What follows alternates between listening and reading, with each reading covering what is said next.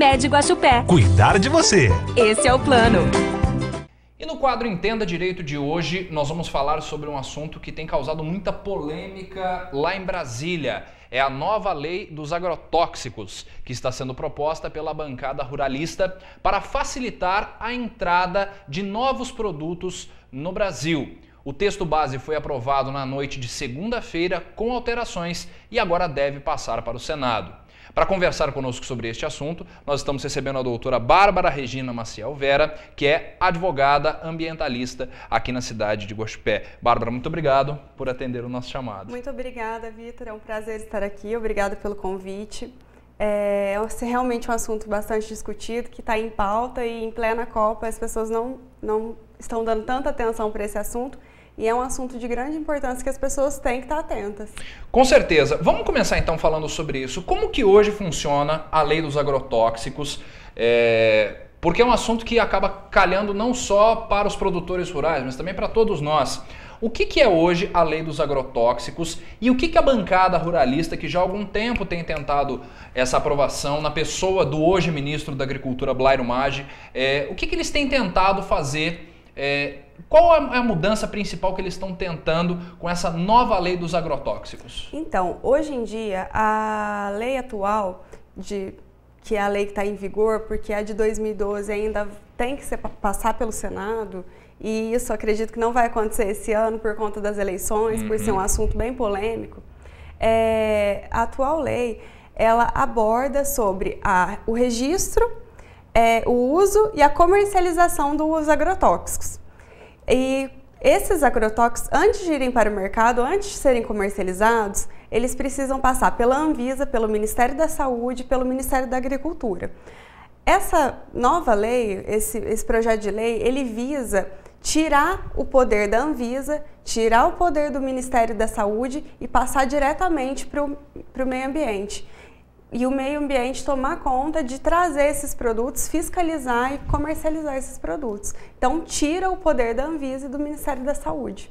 Mas tirar da incumbência, eh, essa incumbência da Anvisa e passar direto para o Ministério da Agricultura, essa mudança beneficia a quem? Quem seria realmente beneficiado com isso e por que, que essas alterações estão sendo propostas pelo pessoal lá no Congresso? Então, o Ministério da, da Agricultura, ele tem os órgãos deles internos que abordam também a saúde, eles têm os órgãos internos que eles vão analisar essa situação.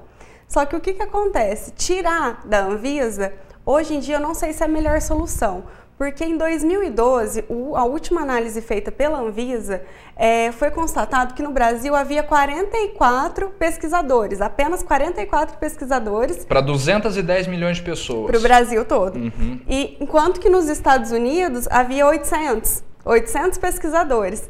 Isso o que, que, quer dizer? 5% do que havia nos Estados Unidos. Por que, que é importante a gente comparar? Porque o Brasil ele é o maior consumidor de agrotóxicos do mundo do mundo. Isso porque, é, não porque os produtores rurais usam indevidamente de forma alguma, é porque o Brasil é clima tropical. Uhum. Então, o que, que acontece? Nós conseguimos produzir é, alimentos o ano inteiro.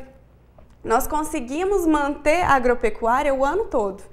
E, consequentemente, as, pe as pestes e as pragas, elas se manifestam muito facilmente por conta do clima e o solo e tudo mais. E a verticalização da agricultura. Uhum. Então, é, a utilização dos agrotóxicos pelos produtores rurais, ela é necessária e a demanda é muito grande por conta da, do nosso clima tropical.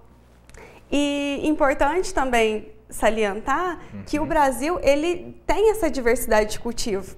E quanto à pergunta que você falou, se essa lei, a quem essa lei beneficia? É, são os grandes produtores, as multinacionais? Então, de imediato, como a gente disse anteriormente, é, o que, que vai acontecer? Vai tirar o poder da Anvisa, tirar o poder do Ministério da Saúde.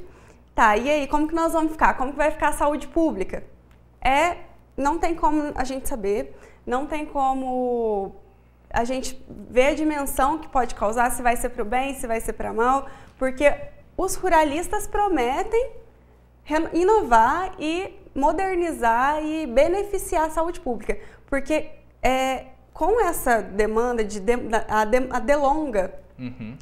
é, como são só, vamos por apenas 44 pesquisadores, a demora para analisar é de 10 a 15 anos. Pra, um produto? Um produto, um agrotóxico.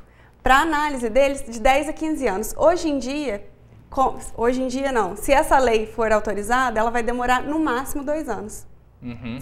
Então, a vinda desses produtos mais modernos para o Brasil, mais rápida.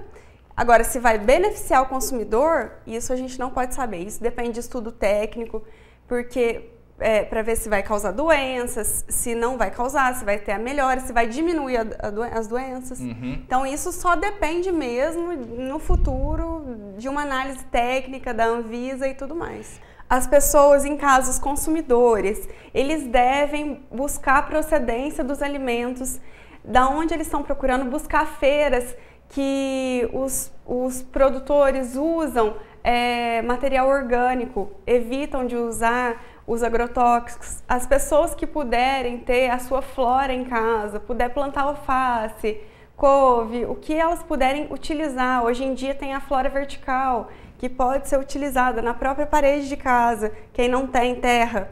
Uhum. Então, é, quanto mais as pessoas puderem fazer o seu, sua própria plantação, é, buscar a procedência dos alimentos, cobrar isso dos fornecedores, dos supermercados e tudo mais, é de grande importância para a saúde. Eu queria agradecer muito a sua presença aqui para falar desse assunto. Você tentou explicar um pouco. É um assunto que não vai se resolver agora, não. esse presidente, o próximo presidente ainda vão discutir muito é, isso, é, que infelizmente é um assunto de saúde pública, mas que depende de boa vontade dos políticos para tentar resolver. É, doutora Bárbara Regina Maciel Vera, que esteve aqui conosco para conversar um pouco sobre a nova lei dos agrotóxicos. Isso. Muitíssimo obrigado. Eu que agradeço. Esperamos contar com você mais vezes aqui. Se com esse certeza. assunto andar lá em Brasília, a com gente certeza. conversa um pouco mais. Muito obrigada. Nós que agradecemos.